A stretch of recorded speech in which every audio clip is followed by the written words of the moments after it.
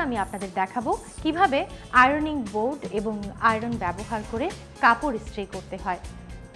আমার সামনে আছে একটি আয়রন মেশিন একটা স্প্রে বটলে পানি এবং কিছু কাপড়। আয়রন মেশিনের সংযোগটি বৈদ্যুতিক হোল্ডারের সাথে সংযোগ দিতে হবে।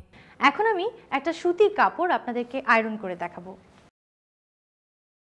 মনে রাখতে হবে আপনার কাপড়ের ধরন অনুযায়ী আয়রন মেশিনের রেগুলেটরটি সেট করতে হবে।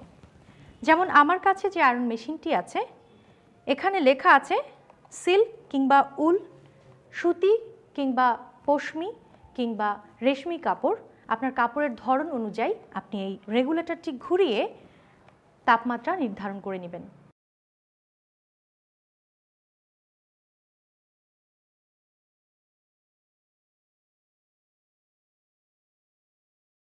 আয়রন করার আগে কাপড়ে পানি স্প্রে করে নিতে হবে। সাবধান আয়রন করার সময় কাপড় যেন পুড়ে না যায়। বর্তমানে ওয়াটার স্টিমার সহ ইলেকট্রিক আয়রন পাওয়া যায় যেগুলো ব্যবহার করলে আলাদাভাবে পানি ব্যবহার করতে হয় না।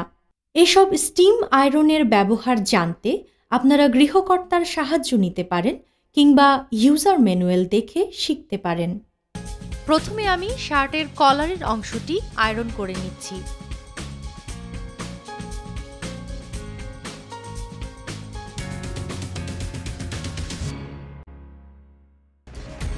শার্টের কলারের অংশটি আয়রন করার পর আমি হাতার অংশটি আয়রন করে নেব। দুটো হাতার সামনের অংশ এবং পেছনের অংশ আয়রন করে নেয়ার পর এবার আমি একটু চাপ দিয়ে শার্টের বাটনের পাশের অংশগুলো আয়রন করে নেব।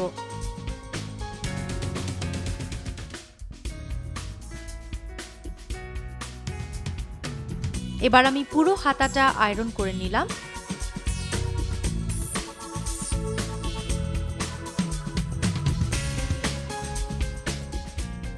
সব শেষে শার্টের পেছনের অংশটুকু আয়রন করে নিতে হবে।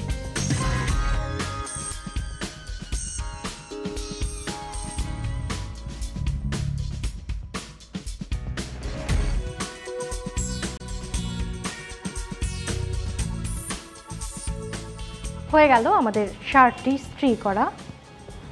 এখন আমি ফাইনাল টাচটি দিচ্ছি।